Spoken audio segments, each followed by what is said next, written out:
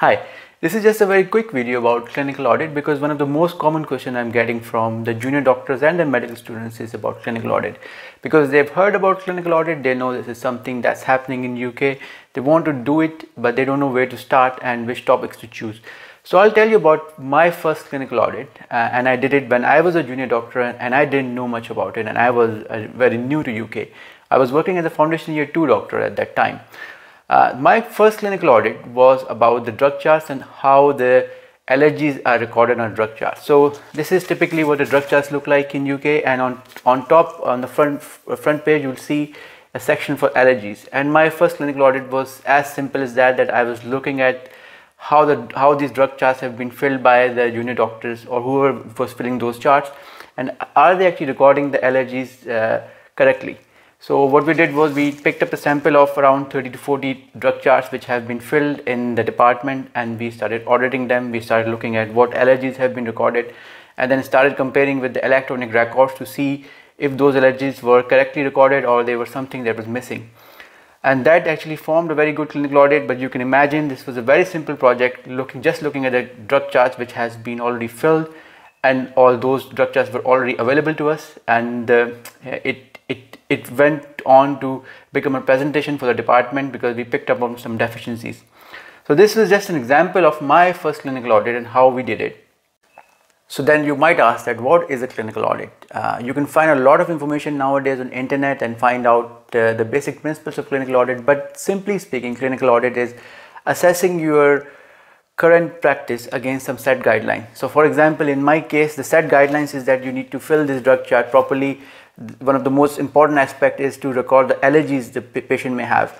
And if you're not doing that, you know, then obviously you're not following the guidelines. And we were assessing that set guideline set standard to fill a drug chart against what uh, the doctors were doing and how they were doing it. If they were not filling it correctly, what was the reason they were not doing it and how can we improve that particular practice. Now the story behind how I chose the topic of this audit, my first audit is interesting because I was looking for a topic and I was going to my seniors asking them that I want a topic for audit, can you give me one? And they were giving me good ideas, but uh, they were looking quite complicated, you know, and I was thinking, you know, I, I'm here only for a limited period of time, I need to finish this in a limited period of time. And if I picked up a big project I might not be able to complete. It might be too complicated for me to understand. I might need more supervision and you know that might take time but then I went to the pharmacists who were working in the department and asked a simple question that what can we doctors do better uh, in terms of our practice? And uh, she was very clear. She said uh, I wish you can record the allergies properly.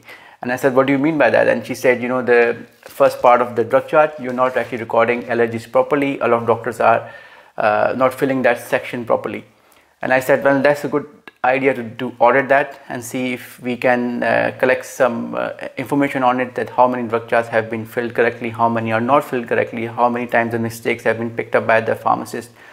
And then we can uh, uh, write it write up write this up and, as an audit. And this was a simple idea because i have access to the drug charts i was working in the department. I have the support of the pharmacist as well who was telling me how to actually check for the allergies using the electronic records and how uh, to compare it with the current drug charts so then the question of what happens after you have finished the audit. So we actually uh, made a presentation of this audit and did the departmental presentation where all the junior doctors were attending and informed them about the stat standards, informed them the importance of allergies and how many times this has been missed and picked up by the pharmacist and you know that how to do it correctly, how to fill the drug chart correctly at that time i just got a certificate of that, that, audit followed by my presentation and i didn't at that time have the experience to understand that these kind of audits can actually go to conferences as well as posters and can be rewritten as abstracts.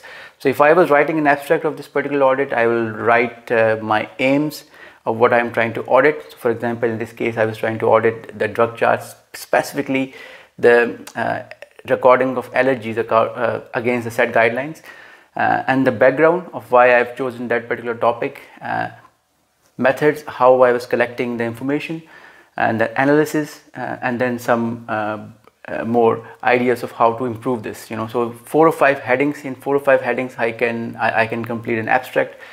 Those again, those four or five headings can actually go on a poster as well, and can make a poster uh, and can be submitted to a conference. So my advice is always always this that the audits can be done anywhere in the world. It's not just something that is only happening in UK and could be done in your home country. It could be done in subcontinent. It could be done in a hospital wherever you think uh, a service needs improvement wherever you think a part of service that can be assessed against set standards and that could lead to improvement uh, you can actually pick up those topics identify those areas and complete an audit uh, follow that audit by uh, doing a presentation of that audit try to implement some changes and then do a re-audit and that can help you to complete a quality improvement project. But my advice also that if you are a junior doctor medical student, pick up a simple topic that you can manage. Pick up a topic that is not too complicated because as first experience of an audit, you need to go through the process of it and you will learn a lot through that process. Even if the, if, if the concept or the topic is very simple, after that you have gained experience after when you have have some insight into how this is done then you can go on and and start picking up some more complicated topics you can also find a lot of uh, examples of completed audit that have been put on internet by uh, different forums. You can have a look at them and see if you can replicate something similar in your department. Uh, you can always discuss it with your seniors. Uh, if you're working in a department where nobody has concept of audit, you know, you can always contact somebody working abroad, somebody working in UK to run past your ideas uh, with, with them and see this if this is a viable option, if this is a viable audit, if this is, this is something that will uh, look good in terms of service improvement uh, and then that might help to improve your CV. All the best with your first project and uh, fingers crossed it will all turn out well. If it doesn't, don't worry, you can try again and find another project and another environment and you eventually you will get the idea of it. Eventually you will start doing audit and quality improvement projects.